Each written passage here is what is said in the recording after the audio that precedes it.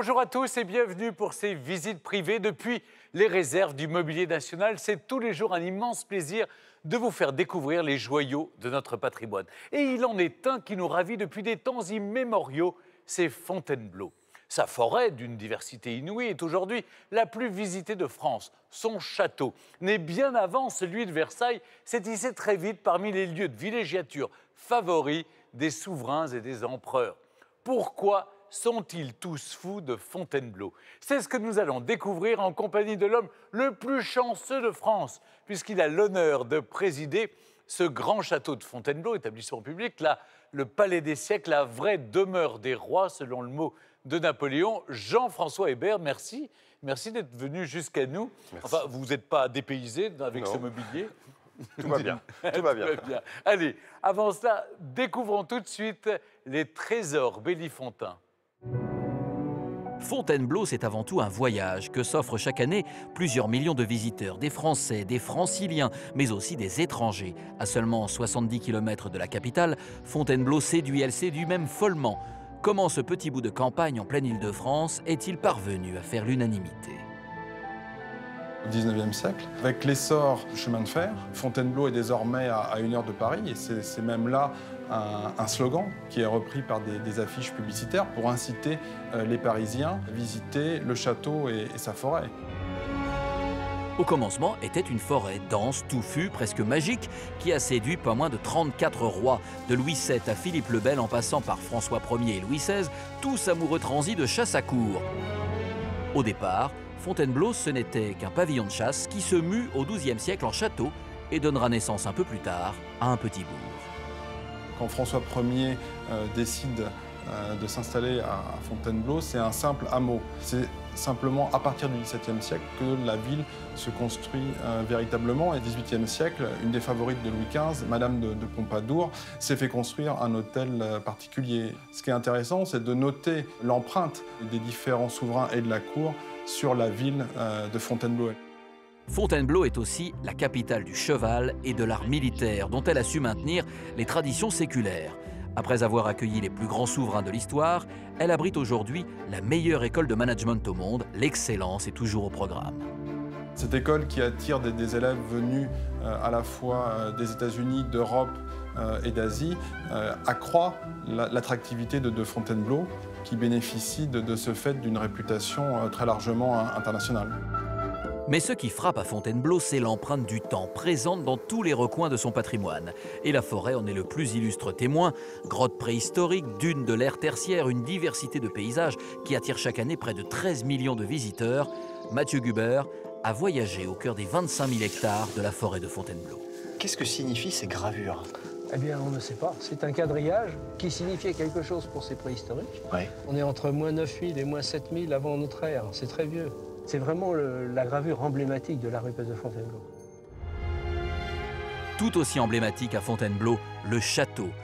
Dans ces murs de François Ier à Napoléon III, rois et empereurs se sont succédés durant huit siècles et nous ont transmis leur art de vivre. Fanny Belvisi nous servira de guide dans cette illustre demeure que même la Révolution n'aura pu abattre. Nous sommes ici dans le musée chinois de l'impératrice Eugénie. Comment ça se fait que la Chine arrive dans les murs du château de Fontainebleau? Eugénie va vraiment avoir envie de créer son espace. Elle va disposer elle-même les objets dans les vitrines. Ce sont vraiment des pièces qui proviennent de tous les pays euh, asiatiques. Enfin, le château de Fontainebleau aura écrit une des pages les plus célèbres de notre histoire en devenant en 1814 le théâtre d'une abdication, celle de l'empereur Napoléon Ier. Ces fameux adieux alimentent encore aujourd'hui les récits les plus enflammés. Charles Bourla démêlera pour nous le vrai du faux. Dans la nuit du 12 au 13, à 3 h du matin, on entend un bruit assourdissant. L'empereur est tombé. Et lorsque tout le monde se retrouve ici, on comprend que Napoléon a tenté de se suicider. Comment le sait-on? Parce qu'il y a une fiole qui est posée sur ce guéridon avec le poison que lui avait préparé le chirurgien Ivan pour la campagne de Russie deux ans auparavant. Portes ouvertes à Fontainebleau, tout de suite, dans Visite privée. Jean-François Hébert, vous évoluez depuis une trentaine d'années dans le monde de la culture et depuis 2009, vous êtes à Fontainebleau, vous assurez les fonctions de président de l'établissement public du château de Fontainebleau. Est-ce que c'est 60 km de Paris, mais est-ce qu'on se sent loin de la capitale à Fontainebleau? Ben, On se sent à la fois loin et près de la capitale. C'est très paradoxal. On est loin parce que pour euh, arriver à Fontainebleau, il faut traverser la forêt. Les portables se coupent, on capte mal. Euh, voilà, il y a 45 minutes de train, une heure de voiture. On est isolé quand même. D'ailleurs, c'est ce qui a fait que les rois de France ont aimé ce lieu. Puis en même temps, on est très proche. Finalement, c'est pas grand-chose. Moins d'une heure de Paris, c'est très proche. Il y a d'ailleurs le sentiment, quand on parle de château, que les Français vont naturellement vers Versailles et que Fontainebleau au sud, comme Compiègne au nord, sont un peu plus excentrés. On parle d'ailleurs de voyage à Fontainebleau. Alors c'est Louis XIV qui a inventé ce, terme de voyage à Fontainebleau. La cour se transporte à Fontainebleau, c'est vrai.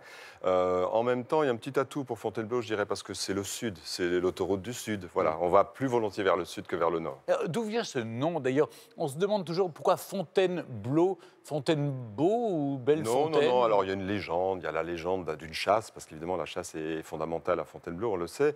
Euh, donc un chien euh, qui s'appelait Blio ou Blo aurait découvert une fontaine en s'égarant un peu, et donc on pense que Fontainebleau, Fontainebleau, c'est l'origine du mot. Hmm. Alors bien souvent, Fontainebleau se confond avec euh, son château et ou sa forêt. C'est une bonne chose pour la ville parce que la ville recèle des trésors incroyables aussi.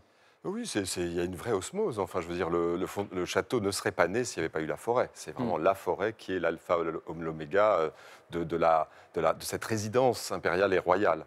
Euh, et puis, la, la, ville s'est construite autour du château. Donc, il y a vraiment un lien entre château, ville et forêt. On peut se demander pourquoi euh, ce château, pourquoi cette forêt? Puisqu'il y en avait d'autres, des forêts dans la région. Ben, elle est, non, elle est spéciale. Non, elle est tout ah à fait En, en Ile-de-France, elle, ah, elle, est... spéciale. Et puis, il y a une eau, il y a une eau qui est d'une pure paix. Ah, juste à côté, vous avez Courance, par exemple, qui n'est pas très loin hein, de Fontainebleau. Même à Courance, vous avez, vous avez cette eau qui est. Euh, d'ailleurs, Louis XIII allait boire l'eau de Courance. Il y a l'eau, mais il y a les rochers, il y a ces bêtes rousses et noires mm. là, dont on parle depuis, depuis des temps immémoriaux. Il y, a, un gibier extraordinaire. Et pour les rois de France, la chasse, c'est le sport favori. Donc c'est ça qui les a attirés tout particulièrement ah, C'est une richesse Il y a un côté sauvage, effectivement, dans cette forêt qu'il n'y a pas forcément dans d'autres forêts, y compris le parc de Versailles. C'est euh, très accidenté. ou même, ou même Chantilly. Et les sont très fiers d'ailleurs. Ils, sont très fiers de leur Ils sont si fiers qu'on essaie aujourd'hui de, classer la forêt euh, patrimoine mondial comme le château l'est. Hein. il y a une tentative d'extension euh, du label du château euh, vers la forêt. Ce qui paraît très logique en plus. Oui, et qui serait mérité, puis quand on voit une telle diversité, effectivement. Et eh bien justement, si Fontainebleau attire chaque année des millions de visiteurs, c'est d'abord grâce à son immense forêt un massif aux origines ancestrales qui offre une mosaïque de paysages exceptionnels. Au-delà de la grimpe qui fait tant d'adeptes, il y a beaucoup d'autres richesses à découvrir, n'est-ce pas? Effectivement, Stéphane, et je vous l'avoue, comme 13 millions de visiteurs annuels, je me suis laissé happer. Ah, vous faites de la varap, Mathieu? J'en ai fait jeune, effectivement, ah oui. Très bien, et bien, avec vous... en tout cas, voilà, la, forêt des, mille aventures, la forêt de tous les possibles. Eh bien, écoutez, avec plaisir, nous, nous vous suivons, Mathieu, dans cette belle forêt de Fontainebleau.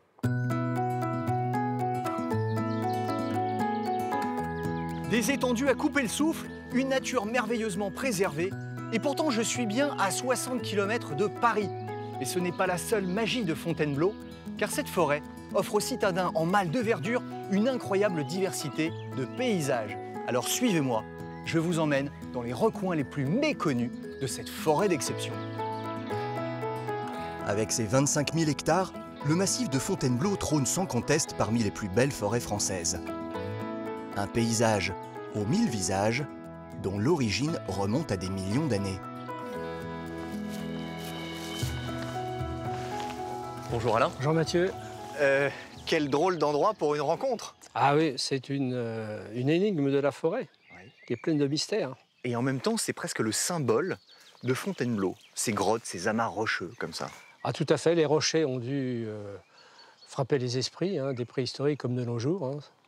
Et ces gens-là qui habitaient aux alentours sont venus pour euh, parler avec euh, leurs esprits, euh, leurs croyances. Bon, Alain, il me tarde de pénétrer dans les entrailles de la Terre pour découvrir tous ces trésors, tous ces mystères. Eh bien, allons-y à la suite des hommes préhistoriques. Hein. Nous allons contempler leurs œuvres. Putain Attends, t'es sûr de ton truc, Alain, là? Bon, j'y vais Ouais, oui, écoute, bon courage. Une fois que t'as passé le beat, c'est bon. Qu'est-ce que signifient ces gravures? Eh bien, on ne sait pas. C'est un quadrillage qui signifie quelque chose, ou qui signifiait quelque chose pour ces préhistoriques, puisque c'est euh, la gravure que l'on trouve presque partout. Et c'est vraiment le- la gravure emblématique de la rupesse de Fontainebleau. Vous en avez découvertes combien de ces grottes préhistoriques? Eh bien, depuis que notre association existe, on est passé de 450 à 2050, 2060 à peu près. C'est un travail de, Voilà. de romain, j'allais vous dire. Voilà, ben, c'est un travail de bénévole euh, sur 42 ans. Qu'est-ce que ça vous fait quand vous découvrez une, une nouvelle grotte et ces nouvelles euh, inscriptions préhistoriques? Ah ben, on est très content parce qu'on a un peu l'impression d'être un peu des explorateurs. hein. On rentre dans un endroit que personne n'avait vu avant nous. Et donc, y y, y il y a un côté enthousiasmant. hein. Bon, ben Mathieu, on va changer de période là. On va remonter dans les temps géologiques. Donc là, on fonce à l'ère tertiaire. Euh, Voilà, on prend la machine à remonter le temps. Mais il n'y a plus d'hommes préhistoriques à cette époque-là. Oh, c'est con. Je ferais bien aller dire bonjour à un copain. Les trésors préhistoriques de Fontainebleau ne se trouvent pas que dans les profondeurs de la Terre. À quelques kilomètres de là, on peut admirer un petit désert. Incroyable On se croirait en plein Sahara, mais à 50 km de Paris. Ah, Nous retrouvons le sable de Fontainebleau. Alain, c'est fou de se dire que il y a du sable aussi fin que finalement sur une plage euh, paradisiaque. Ah ben, on est presque au paradis. oui. La région était occupée par un golfe marin Mhm. qui, petit à petit, a été asséché. Le sable est resté. Avant, il y avait la mer ici. Ah oui, il y a très très longtemps, hein, des millions d'années. Et c'est la grande caractéristique de la région. Sa richesse même. Merci infiniment, Alain. Par sa diversité, la forêt suscite l'émerveillement des promeneurs. Un environnement qui semble immuable à travers le temps. Pourtant, cette histoire paysagère est le fruit d'un travail. Celui des agents de l'Office national des forêts, qui perpétue un savoir-faire vieux de plusieurs siècles. Catherine, à quoi ressemblait la forêt de Fontainebleau avant la forêt de Fontainebleau telle qu'on la connaît maintenant? A été très différente. Aujourd'hui, le massif, il fait à peu près 22 000 hectares. À l'époque, il en faisait 8 000, donc beaucoup moins. Les générations de forestiers se sont succédées pour euh, entretenir, valoriser, améliorer, embellir, agrandir la forêt Mm. en y plantant ou en régénérant différentes essences, du chêne, ensuite du pin. En fait, les arbres qu'on a autour de nous, euh, ils ont 250, 300 ans. Mhm. Donc quand on les récolte aujourd'hui, on récolte le travail de nos ancêtres, de générations de forestiers il y a très longtemps. Et nous-mêmes, aujourd'hui, quand on plante des jeunes arbres ou quand on les régénère, c'est pour dans 250 ans. Chênes, merisiers, pins, landes, bruyères. On compte à Fontainebleau 5600 espèces végétales, un record en Europe. Après la diversité végétale, j'imagine qu'il y a une grande diversité animale.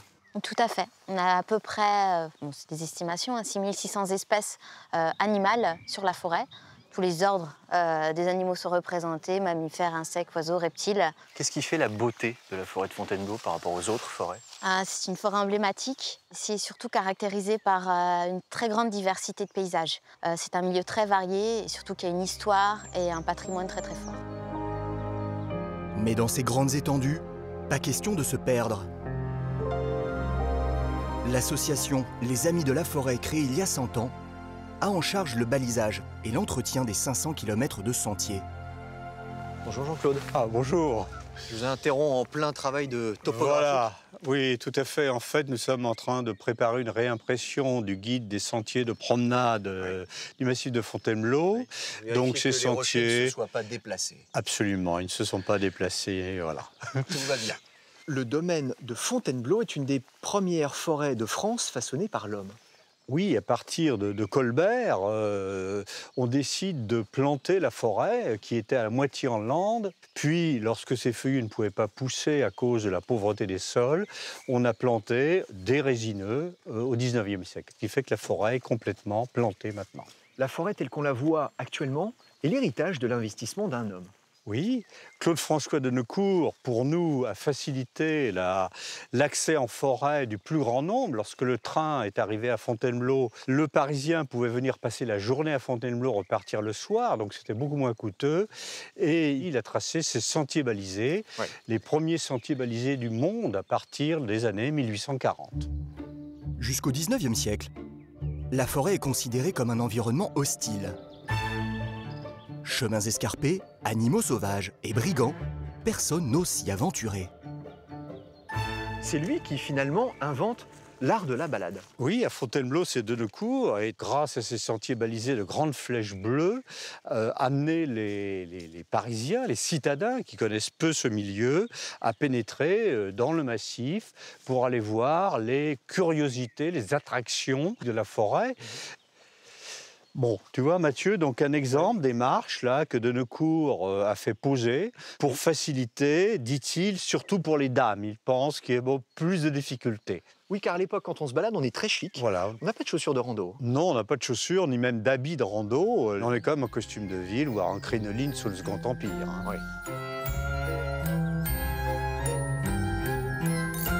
L'œuvre de Claude-François Denecourt est considérable car il consacra toute sa vie à ses travaux.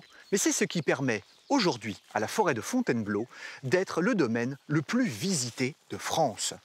Une forêt de loisirs, mais aussi d'activités extrêmes et notamment l'escalade.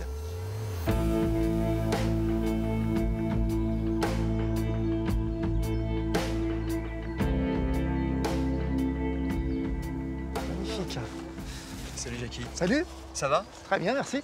Pardon de te déranger en plein entraînement. Pas du tout, c'est un plaisir. C'est impressionnant. Oui, oui, c'est. C'est ce qui euh, fait la magie de Fontainebleau. Voilà. Qu'est-ce qui fait la spécificité de la roche de Fontainebleau?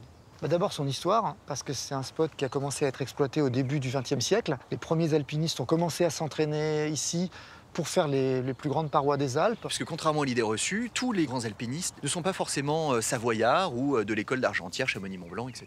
Non, non, certains, euh, certains étaient de, de Paris et donc sont venus à Fontainebleau et ont fait de l'escalade à Fontainebleau leur spécificité parce qu'ils sont devenus techniquement très forts et du coup ils sont allés rapporter ça dans les, dans les Alpes pour faire quelques-uns des sommets les, bah, les plus convoités quelques Ouais. décennies plus tard. Donc, Quand on parle de champion, Mélissa, tu es la numéro 3 mondiale. Est-ce que c'est grâce à Fontainebleau que tu as acquis ce, ce niveau? En partie, oui, hein, je pense, parce que euh, Fontainebleau a quand même une grande diversité de mouvements. J'ai euh, pu voyager aux quatre coins du monde. Et euh, en revenant à Fontainebleau, à chaque fois, je me dis que c'est l'endroit le plus, euh, le plus beau sur la planète en termes de qualité du rocher, de forme. euh. Je retourne grimper. Hein. D'accord. Si avant, te- avant même que voilà que tu me proposes de t'accompagner et de me mettre au défi, je me permets de me retirer dignement. Merci Mélissa. Be good. À quelques kilomètres de ces chaos rocheux, la Seine offre un autre panorama plus paisible. Un paysage que les bourgeois parisiens en mal de nature investissent au XIXe siècle.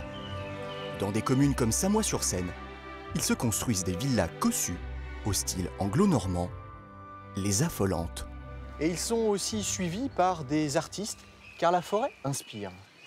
Nous sommes euh, face à la, la maison de Stéphane Mallarmé, qui était sur la rive opposée de la Seine. Et ici, nous sommes devant la maison du peintre paysagiste euh, François-Auguste Biard, qui, tous les peintres paysagistes qui allaient en forêt de Fontainebleau, n'habitaient pas à Barbizon, d'autres habitaient en bord de Seine. Et ici, il recevait écrivains, artistes, notamment Victor Hugo, qui raconte dans les contemplations un bal costumé qui a lieu dans le jardin de cette maison, où à mot couvert, il sous-entend que Thérèse, de- la jeune épouse de François-Auguste Biard, devient sa maîtresse. À l'image de Biard, des peintres comme Cézanne, Corot ou Monet ont eux aussi été séduits par la magie de Fontainebleau. Une forêt qui, un siècle plus tard, n'a rien perdu de son pouvoir de séduction. Beau voyage dans le temps, Mathieu. Merci, Et puis Stéphane. c'est vrai, c'est un voyage artistique aussi, parce que tous les peintres ont immortalisé, euh, euh, surtout l'école de Fontainebleau. Exactement. nom, et le, le courant de, de Barbizon, les premiers, en fait, c'est les premières toiles des impressionnistes, effectivement. Aussi. Mais alors, j'ai découvert dans votre reportage une chose que j'ignorais complètement, c'est qu'au fond, la forêt, non seulement elle s'agrandit, mais elle se modernise. Exactement.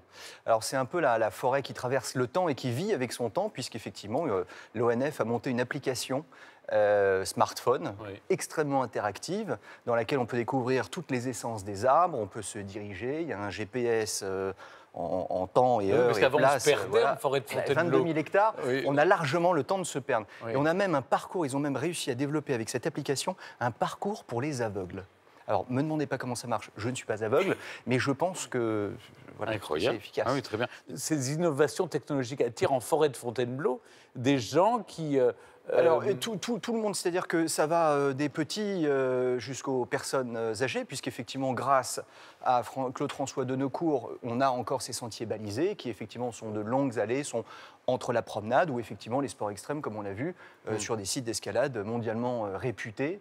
Euh, On pensait d'ailleurs vous voir un petit peu grimper, hein, on Oui. y a cru un instant. Et hein. moi, oui, j'ai pensé que vous feriez Ouais. de la varab, mais non. Et puis, en fait, on ne voit pas tant de monde que ça. Non.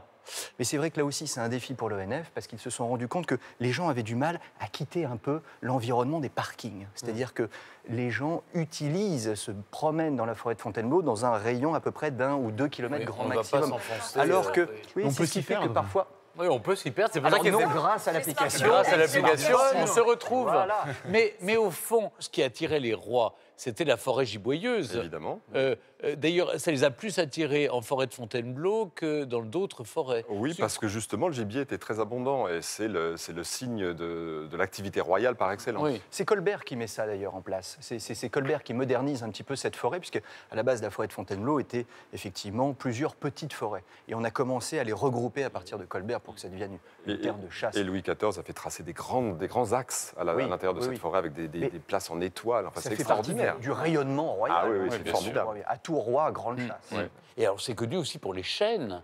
Exactement.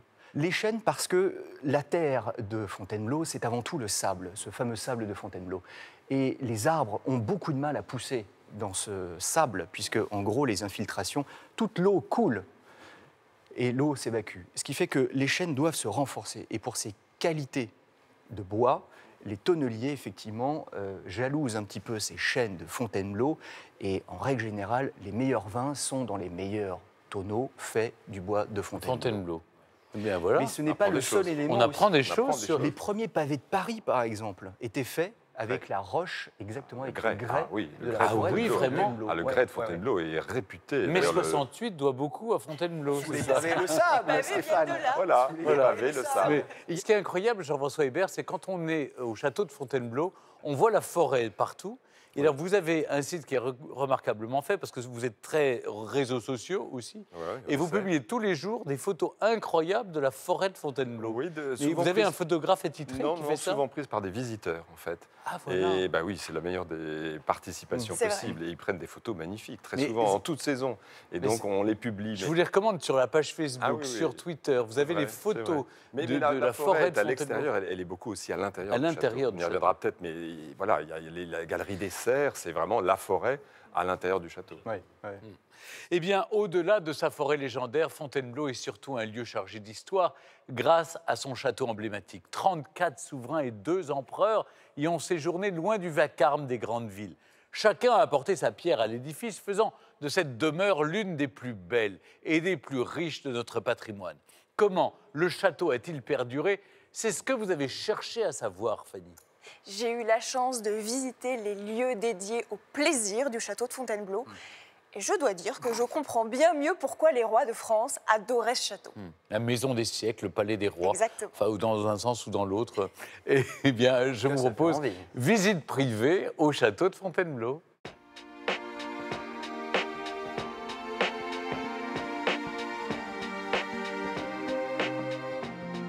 Vous me pensez sur une scène parisienne? Eh bien, détrompez-vous. Je suis bien sur des planches, certes, mais sur celle du château de Fontainebleau. Car s'il est une demeure royale dédiée au divertissement, c'est bien ce palais. Ce théâtre n'est d'ailleurs pas la seule excentricité de ce château où, durant plus de sept siècles, les souverains ont laissé libre cours à toute leur fantaisie. Je vous emmène côté coulisses pour une plongée dans le temps.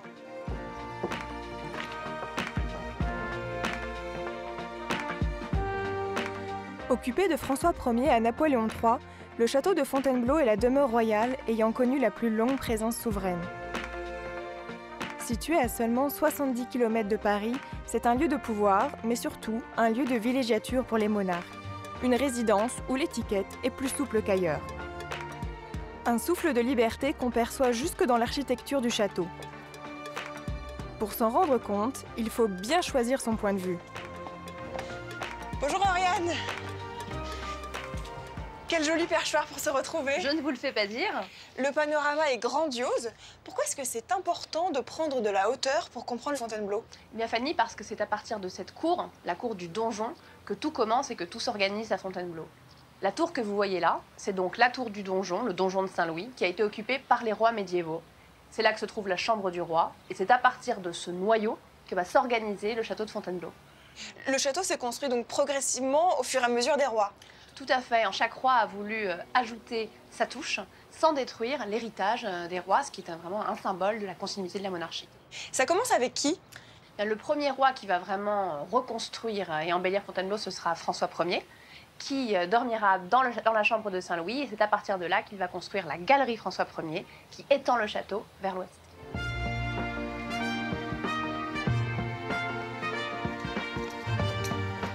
C'est donc à François Ier qu'on doit la métamorphose du château médiéval de Fontainebleau en un palais Renaissance. Le souverain bâtit de nouveaux espaces et confie leur décoration à des artistes venus d'Italie. À l'image de la galerie privée du monarque, au style si excentrique pour l'époque. Elle est vraiment emblématique de euh, l'école de Fontainebleau qui associe la fresque, le lambris et le stuc.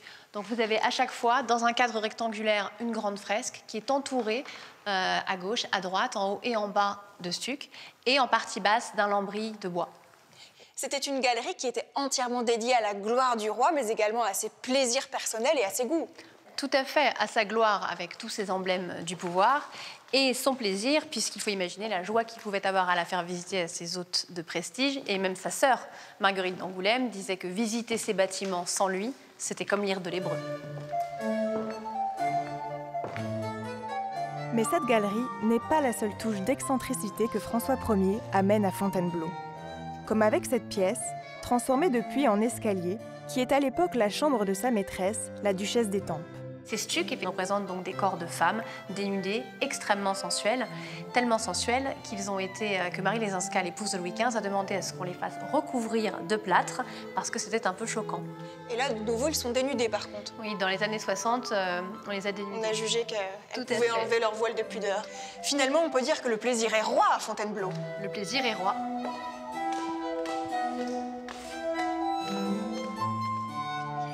Si François Ier a fait de Fontainebleau le lieu de tous les plaisirs, d'autres en revanche y développent des passions un peu plus conformes aux bonnes mœurs. 40 ans plus tard, Henri IV s'installe au château et cet autre roi bâtisseur va frapper un grand coup.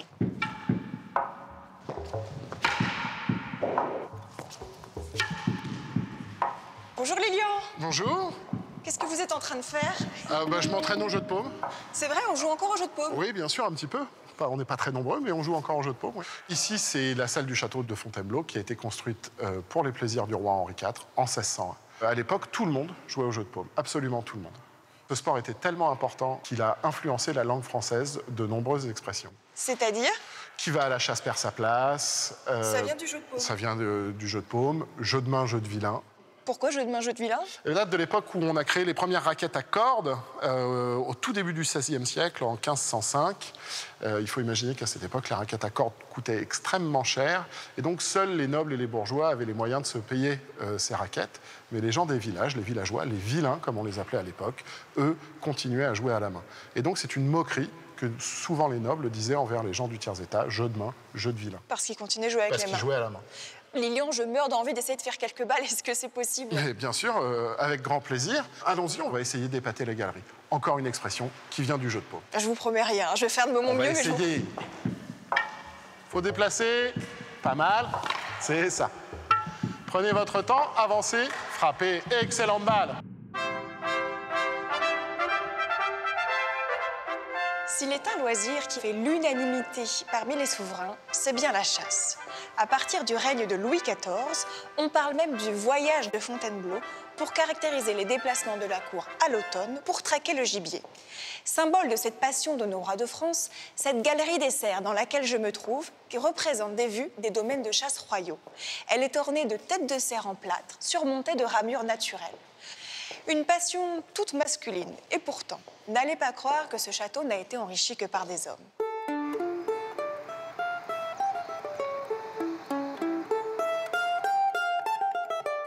Comme avec son petit Trianon à Versailles, Marie-Antoinette cherche à fuir les rigidités de l'étiquette royale. Elle fait aménager à Fontainebleau un boudoir turc, une pièce privée dans laquelle la reine de France se permet toutes les exubérances. On l'appelle boudoir turc. Pourquoi cette référence à la Turquie? Ce sont surtout des références aux turqueries, puisque euh, on peut voir dans ce décor euh, plein d'allusions à l'Orient, qu'il s'agisse des croissants de lune, des étoiles, de ce brûle-parfum dont la fumée euh, est représentée sur le lambris, des visages de, petits eunuques. Tout ça évoque un Orient, alors un Orient qui est en grande partie imaginaire et fantasmé, mais qui fait rêver la noblesse de la fin du XVIIIe siècle. Mais la Révolution française ne sonne pas la fin de la passion des souverains pour Fontainebleau. 80 ans plus tard, une autre femme ajoute un ultime grain de folie à la décoration du château. En 1863, l'épouse de Napoléon III décide d'aménager un musée chinois. Eugénie va vraiment avoir envie de créer son espace, juste avant d'inaugurer le musée avec euh, ses invités. Elle va disposer elle-même les objets dans les vitrines. C'est donc quand même assez fantasque de vouloir avoir une pièce bien à soi, entièrement dédiée à l'Orient. En fait, dédié à l'Orient, peut-être pas forcément, mais un réel musée, oui, c'est assez fantasque. Dans le sens où les pièces qui sont ici ne sont pas des chinoiseries, c'est-à-dire une adaptation occidentale euh, du goût asiatique ou de l'image qu'on peut avoir du monde asiatique. Ce sont vraiment des pièces qui proviennent de tous les pays euh, asiatiques. Oui, on a un véritable cabinet de curiosité asiatique ici. Oui, c'est exactement cela. En plus de cet espace d'exposition, le couple impérial dote le musée chinois d'un salon de divertissement. Qu'est-ce qu'on faisait dans ces salons? Qu'est-ce qui s'y passait? On jouait au solitaire, bien sûr, on jouait aux cartes, euh, on faisait la dictée avec Monsieur Mérimée, on écoutait le piano mécanique ou encore on jouait euh, au billard comme euh, ceux qui sont présents dans le, le petit salon euh, attenant. Finalement, le musée chinois et puis son côté un peu euh, excentrique, c'est le point d'orgue de cette sociabilité qui se développe au Second Empire. En effet, avec aussi le théâtre euh, créé sous Napoléon III. C'est magnifique. Dès la première visite du couple impérial, dès 1853, ce théâtre va être décidé. Il ne sera inauguré qu'en 1857. Euh, théâtre très elliptique, à l'image de l'Opéra de Versailles ou de celui de Trianon. Pourquoi est-ce que Napoléon III s'autorise cette petite folie, si on peut l'appeler comme ça? Alors folie, euh, on ne le dirait pas pour un empereur hein, qui, à, vrai. à la mesure euh, de sa grandeur, souhaite ce qu'il y a de plus beau. Euh, en fait, il s'inscrit dans la tradition du théâtre, tradition du théâtre de Fontainebleau, c'est-à-dire que dès le XVIe siècle, on va jouer du théâtre à Fontainebleau. Qu'il s'agisse d'une folie ou d'un caprice impérial, les moyens déployés pour la réalisation de ce somptueux bijou ne seront pourtant pas à la mesure de son usage. La salle n'accueillera qu'une quinzaine de représentations théâtrales. Mais qu'importe la dépense, le plaisir avant tout. Oui, il faut savoir qu'ici, on vient en villégiature. On vient au début de l'été. On allait à l'hippodrome, on faisait des feux d'artifice. Et surtout, Eugénie adorait partir marcher en forêt. Elle marchait vraiment, elle épuisait. On disait ces dames d'honneur à, Ah oui à profiter euh, de tous les loisirs. Impossible d'évoquer les loisirs à Fontainebleau sans parler de l'eau et du canotage, une institution. Nos monarques ont d'ailleurs l'habitude de voguer sur les eaux de l'étang où nous nous trouvons, à bord de somptueuses barques. Napoléon III et son épouse, l'impératrice Eugénie, vont même jusqu'à faire venir une gondole de Venise avec son gondolier pour épater leurs invités. Aujourd'hui, mon embarcation est un petit peu moins luxueuse, mais au moins, je peux toucher du doigt ce loisir si cher à nos souverains. Alors Fanny, c'est agréable de se glisser dans les habits de l'impératrice Eugénie? J'ai beaucoup aimé, je dois dire, même si je suis pas sûre qu'à l'époque c'était elle qui ramait. Non. Mais j'ai- beaucoup apprécié mon séjour à Fontainebleau. En tout cas, il y, a, y y tout un travail qui a été fait de restauration. On le voit, le boudoir turc est d'une grande beauté. Neuf, le hein. musée chinois, le théâtre, le théâtre restauré grâce, euh, je crois, à un, un émir d'Abu Dhabi. Absolument. Très Mais ce qui récemment. est incroyable, quand on, je ne sais pas si, vous, si euh, Jean-François Hébert, qui connaît mieux les lieux que nous, euh, peut le dire, mais moi, la première fois que je suis entré dans le théâtre euh, de l'impératrice Eugénie à, à Fontainebleau, j'avais le sentiment que c'était comme si les, les- les- les tissus étaient. L'histoire nous, nous Revenait. revenait dans, dans le vi- en plein visage. Exactement. On a l'impression Rien n'avait changé depuis 1850. Ils viennent de partir de la pièce. Enfin, Il y a vraiment cette Ça, sensation. ça- ça s'explique, hein, parce qu'en fait, on a d'abord ce théâtre a été fermé pendant 150 ans, complètement fermé, pas d'électricité, pas de chauffage, donc des conditions de conservation magnifiques. Personne n'est venu faire des trous, euh, voilà. Et puis on a choisi de, de le restaurer euh, avec les matériaux d'origine. On a gardé 95% et donc, quand Stéphane vous dites, euh, on a les tissus sont, mais c'est les tissus d'origine. On les a juste nettoyés et on les retrouve. Et on attend de lancer la, la- la seconde tranche de travaux qui vont permettre de restaurer la scène et les niveaux supérieurs. C'est toujours Cheikh Zayed qui. euh, Oui, tout à fait. C'est c'est imminent. Ah bon Et alors, j'avais une question quand même, parce que quand on est le, le patron d'un tel établissement public, on se pose des questions. On a vu, tous les rois de France et les empereurs sont passés par Fontainebleau. Comment vous décidez que telle pièce doit être restaurée dans le goût de C'est- Louis XVI c'est un grand débat. À quel moment est-ce qu'on arrête les pendules, les horloges du Oui. temps, en fait, dans ce château qui est fait de la sédimentation des siècles, en fait. hein. En fait, le choix qu'on a fait, c'est de se caler sur les inventaires du Second Empire. C'est le, le- le- la règle, c'est qu'on restaure dans l'état Second Empire. Mais sous le Second Empire, ce que les gens ont du mal à comprendre, qu'il faut leur expliquer, il y a la galerie François Ier qui est dans un état Renaissance, un Oui. peu. Bon, il n'y a pas de fauteuil capitonné qui traîne, mais ça pourrait. Mais c'est quand même. Il y a le boudoir turc de Marie-Antoinette. Pourquoi? Parce que Eugénie est une admiratrice, éperdue. éperdue de Marie-Antoinette. Et voilà. D'ailleurs, les appartements de Marie-Antoinette sont dans l'État. Exactement. Mais étrangement, il a gardé, enfin, c'est pas si étrange, mais Napoléon III a conservé les appartements de Napoléon Ier. parce que c'était Et- son oncle et parce que c'était Oui. la dévotion absolue. Donc, Et- c'est le dernier trône qui nous reste, l'un des derniers, je crois. c'est le dernier. Ah, le dernier le, trône. dernier, le dernier présenté en Prés- tant que salle du trône. Bien Oui. sûr, il y a d'autres trônes. euh, Mais ça, c'est la salle du trône de Napoléon Ier est incroyable aussi. Non, ce qui est fabuleux, c'est comme un jeu de piste, Fontainebleau. C'est que vous allez d'une pièce à l'autre et vous entrez dans l'histoire. Oui, c'est une imbrication de style. Mm. Et euh, ça s'est sédimenté au fur et à mesure. Et, euh, et c'est vrai que c'est assez fascinant de voir toutes ces pièces qui euh, croisent différentes époques, euh, même s'il y a quand même des rois qui ont un peu plus détruit, détruit que d'autres. On pense à Louis XV, qui est apparemment connu pour être le roi qui a le plus détruit des parties de Fontainebleau. Mais globalement, on sent cette volonté de conserver un héritage, de, de, de Mm. travailler, d'où le côté un peu bricolé C'est très vrai ce que vous dites. En fait, le concept qui résume le mieux ça, vous dites des choses très justes, c'est le, le concept de maison de famille. On hérite de cette maison, de son père, de son grand-père, de son arrière-grand-père. Et quand on a une maison comme ça, eh bien, on conserve les meubles. Mm. On va pas, bien sûr, on va faire une salle de bain moderne, on va offrir, euh, enfin, refaire un appartement, euh, faire tomber une aile peut-être. euh, c'est plus ou moins important, mais on modernise, on met au goût Mm. du jour, mais on garde la maison de famille parce que quand on était petit. On était là, on voyait son père régner ou sa mère, enfin, et, et- et- du finalement. coup, c'est plus difficile à le promouvoir. Fontainebleau, c'est la maison des siècles, c'est-à-dire que vous c'est traversez un peu comme le Louvre, c'est un peu comme le Louvre, C'est- finalement. ce qui fait Napoléon, Napoléon c'est la vraie demeure des rois. Alors Oui. ça, on peut le dire à des Français, parce que les Français sont supposés avoir quand même une connaissance historique. Ils savent à peu près qui est François Oui. Ier, Henri IV. La vraie demeure des rois. étrangers, vous Et dites pour les étrangers, là, on a beaucoup réfléchi à la question, c'est Napoléon. Napoléon. La, la tête de gondole, pardon, tout le monde. va- Mais le- enfin, le- l'ambassadeur, oh, c'est voilà. mieux, c'est mieux. C'est lequel, premier ou deux? Ah, ou non, trois? Napoléon Premier, incontestablement. On- on il le est sent, connu, il est connu dans le monde entier. Mais il est connu dans le monde entier. C'est lui qui fera venir des Chinois, des Indonésiens, des Bien Américains, sûr. Et alors justement, l'escalier, c'est votre prochain projet, j'allais dire, Oui. parce que ça n'arrête jamais, il faut toujours... Et alors, toute la France a été émue euh, ces dernières semaines par, euh, par cette dame de 91 ans qui a répondu à votre appel euh, Eh de, de mécénat, de, de crowdfunding, comme on dit, de, de faire... euh, et elle a donné 15 000 euros. Elle a donné ses économies. Toutes ses enfin, économies, elle est allée casser Peu sa- importe la somme, elle a cassé sa tirelire. Oui, mais C'est c'est très je- honnêtement, moi, on a vu des images de cette femme, mais elle est bouleversante. hein. Elle est bouleversante. Et je trouve que c'est ça qui est formidable. C'est l'attachement de certains, pas tous les Français, beaucoup de Français quand même, hein, à leur patrimoine. Et au point de, de se dire, ben voilà, on fait appel à la générosité publique, ben je, je- je réponds présent. Ouais, ça, c'est formidable.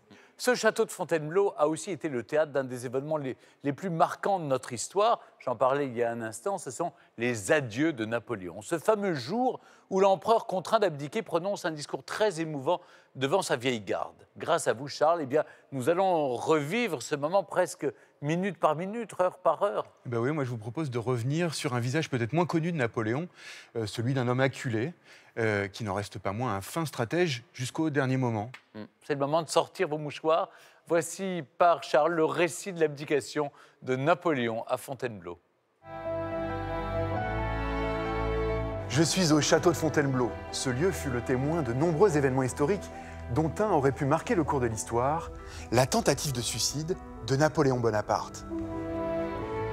Dans la nuit du 12 au 13 avril 1814, l'empereur Napoléon Bonaparte prend ses quartiers dans cette chambre des petits appartements du château de Fontainebleau au rez-de-chaussée.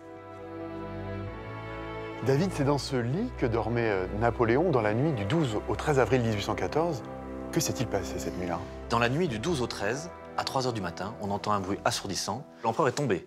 S'il est tombé, c'est qu'il s'est passé quelque chose d'important. Et lorsque tout le monde se retrouve ici, on comprend que Napoléon a tenté de se suicider. Comment le sait-on? Parce qu'il y a une fiole qui est posée sur ce guéridon avec le poison que lui avait préparé le chirurgien Ivan pour la campagne de Russie deux ans auparavant.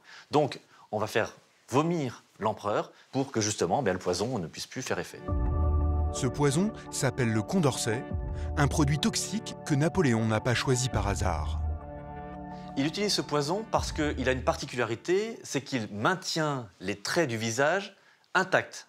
Et Napoléon y tient absolument parce que s'il, bien sûr, il vient à mourir par cette tentative de suicide, il faut pouvoir l'identifier. Il faut que l'empereur, lors de ses obsèques, soit présentable.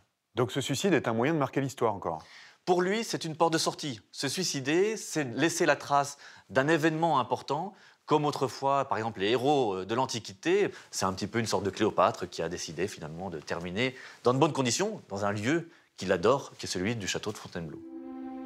Durant toute la nuit, Napoléon se tord de douleur, mais les effets du poison se dissipent le lendemain. L'empereur va mieux, il fait promettre à ses proches de garder le silence sur cet événement. On est donc passé à deux doigts de la catastrophe, mais comment en est-on arrivé là? Eh bien là encore, c'est au château de Fontainebleau que la réponse se trouve. Après plus de dix ans de guerre et de conquête à travers toute l'Europe, l'armée napoléonienne sort exsangue de la désastreuse retraite de Russie, puis de la campagne d'Allemagne. Désormais, l'armée de la sixième coalition, composée du Royaume-Uni, de la Prusse, de la Suède, de l'Autriche et de la Russie, envahit la France. Le 31 mars 1814, c'est en vainqueur qu'elle entre dans Paris. Napoléon se replie en catastrophe au château de Fontainebleau avec ce qui lui reste de sa grande armée. Comment ça s'organise ici? Alors Napoléon arrive avec ses armées qui le suivent, il est dans sa calèche, les armées sont à cheval pour certaines, d'autres, la plupart, sont à pied, beaucoup de blessés, beaucoup de soldats qui sont dans un moral difficile. Donc on va organiser sur ces pelouses, qui étaient à l'époque des jardins à la française très raffinés, on va installer des tentes avec des hôpitaux de campagne dans les écuries ou ailleurs, et on essaie de remettre sur pied une armée qui est vraiment dans une condition très difficile. Est-ce qu'on peut dire que c'est encore un Napoléon conquérant qui arrive ici le 31 Ici, il est quand même sur la défensive. Donc, il a une stratégie différente de celle qu'on a connue autrefois, mais il n'est jamais si bon finalement que quand il est acculé par l'adversaire. Et donc, chacun se comprend qu'il a dans ses cartons ou dans sa tête au moins une carte qu'il faut jouer. Et cette carte, c'est de partir vers Paris et de repousser les adversaires hors de France. Seulement, le 3 avril, Napoléon reçoit l'annonce de sa déchéance, votée par le Sénat. Le même jour, le coup de grâce lui est porté par la défection du maréchal Marmont et de ses 10 000 hommes postés aux portes de Paris. Désormais, l'empereur n'a plus d'issue. Alors nous voici dans un endroit historique, la bibliothèque de Napoléon. Oui, et l'événement historique va se passer ici, ce 4 avril 1814. Il est à ce bureau et il est entouré par ses maréchaux qui le pressent d'abdiquer. Ça se passe dramatiquement parce que les maréchaux ont bien compris que la situation était difficile, même quasi impossible. Et avec Napoléon, ils savent qu'ils ont un personnage qui tient tête, qui refuse la situation telle qu'elle existe.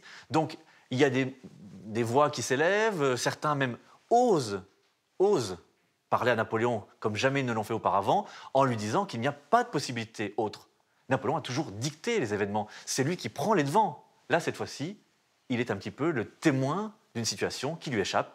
Et donc, il est obligé de dicter les conditions dans lesquelles il accepte de remettre le pouvoir à un successeur. Et ce successeur, dans son esprit, forcément, c'est son fils, futur Napoléon II.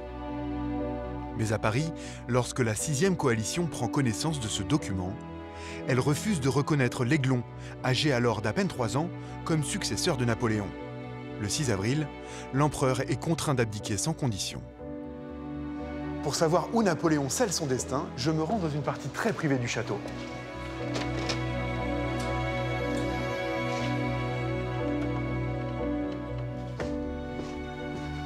J'ai te dites-moi, c'est le chantier cet endroit où vous me donnez rendez-vous? Écoutez, effectivement, euh, l'appartement euh, de l'empereur est en travaux, mais je vais quand même vous montrer le, le cabinet de l'abdication de Napoléon, qui normalement est fermé au public.